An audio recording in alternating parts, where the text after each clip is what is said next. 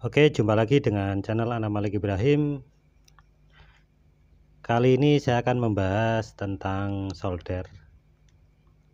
Seringkali dari kita mengalami kesulitan untuk menyolder. Entah itu karena timah tidak mau meleleh atau juga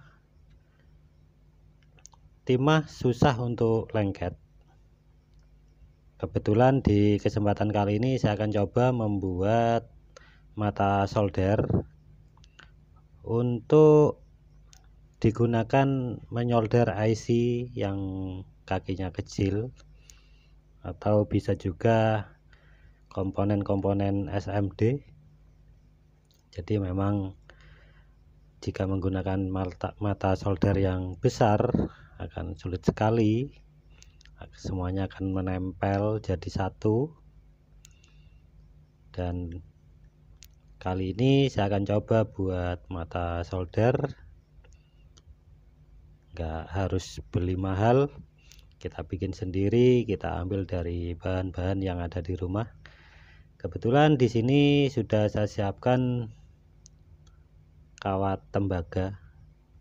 Bisa diambil dari kabel untuk besarannya kurang lebih dua setengah mili. Mau pakai satu setengah mili juga nggak apa-apa kita sesuaikan dengan kebutuhannya saja. Dan di kesempatan ini saya pakai yang 2,5 mili. Oke? Bagaimanakah caranya? Sangat mudah saja. Untuk panjangnya relatif bisa kita sesuaikan dengan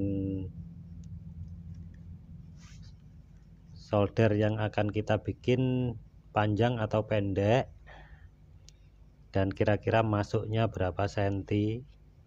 Kita kira-kira segini saja masuknya. Enggak terlalu dalam. Karena kalau terlalu dalam nanti bisa tembus keluar kita ambil kira-kira 4 cm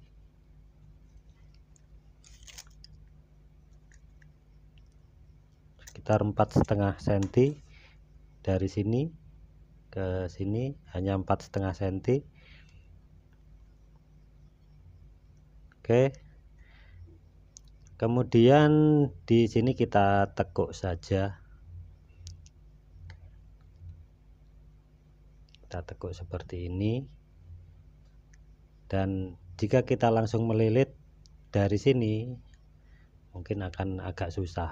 Lebih baik kita eh, panjangkan dulu nanti baru kita ukur kebutuhannya seberapa.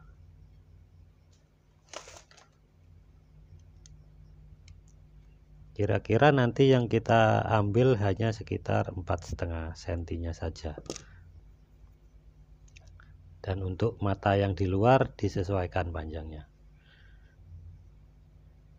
Oke saya kasih agak panjang.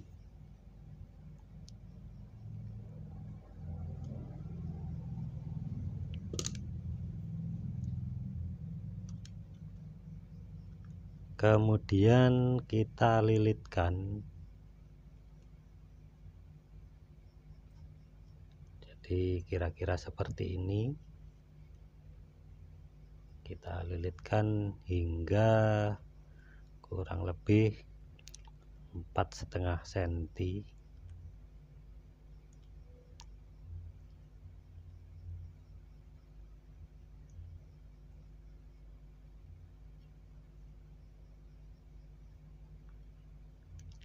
Sebisa mungkin kita menggulungnya sangat rapat agar panas yang dialirkan nantinya lebih maksimal ke ujung solder. Sebisa mungkin saat melilit tidak ada celah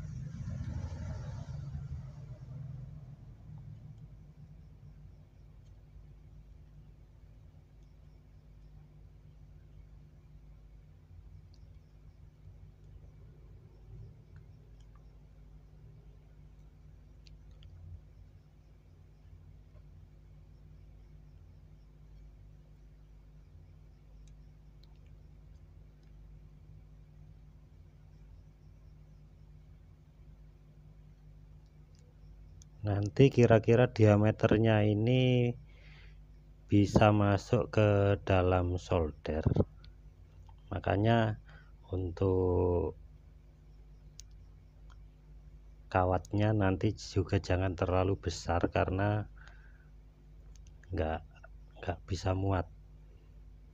Mungkin untuk solder yang 40 watt bisa gunakan yang 1,5 untuk lilitannya.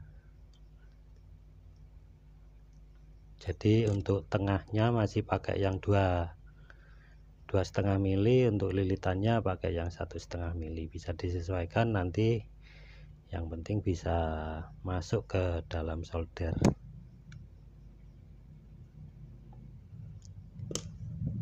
Oke kebetulan di sini saya pakai yang solder yang ukuran 60 watt.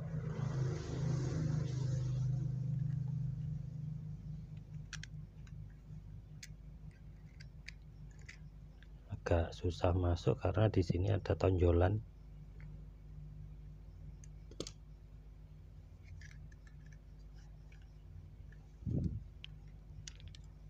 Kita longgarkan dulu bautnya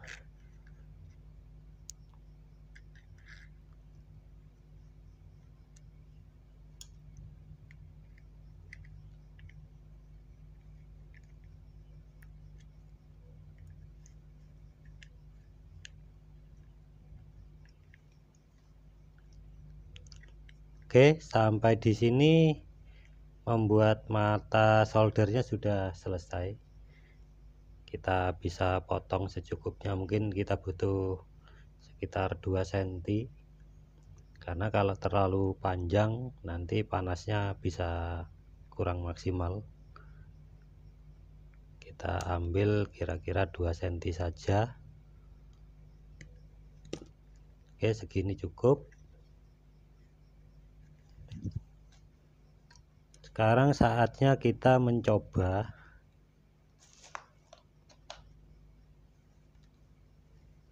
Kita tunggu sampai solder benar-benar panas.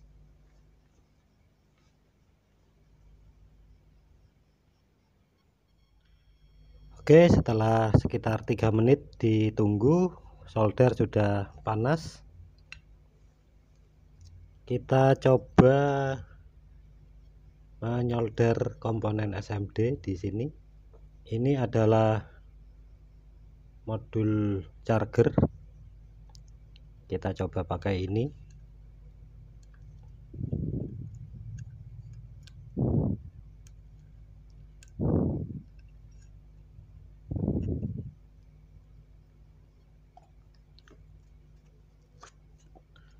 Bisa kita tambahkan flux atau Sionka agar lebih mudah prosesnya.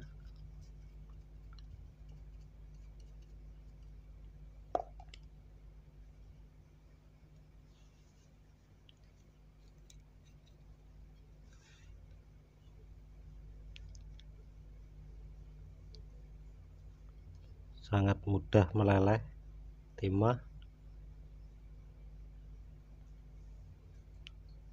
Oke, kita coba.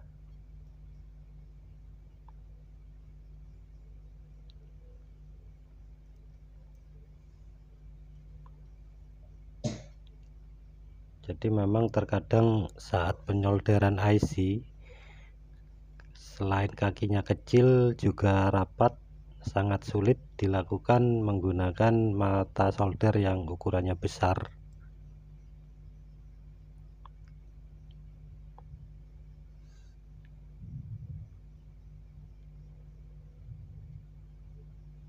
dengan mata solder yang kecil ini kita sangat mudah sekali untuk menyolder kaki-kaki komponen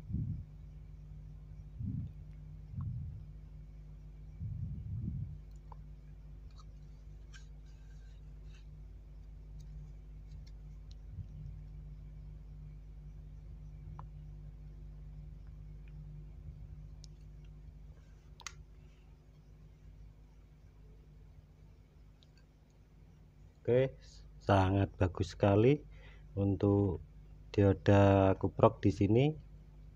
Empat kaki sudah saya solder juga ada dioda di sini dua kaki.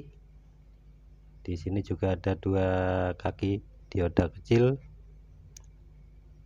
Sangat mudah sekali meleleh karena panasnya sudah cukup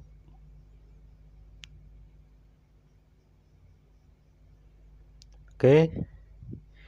Jadi seperti itu cara dan penggunaannya.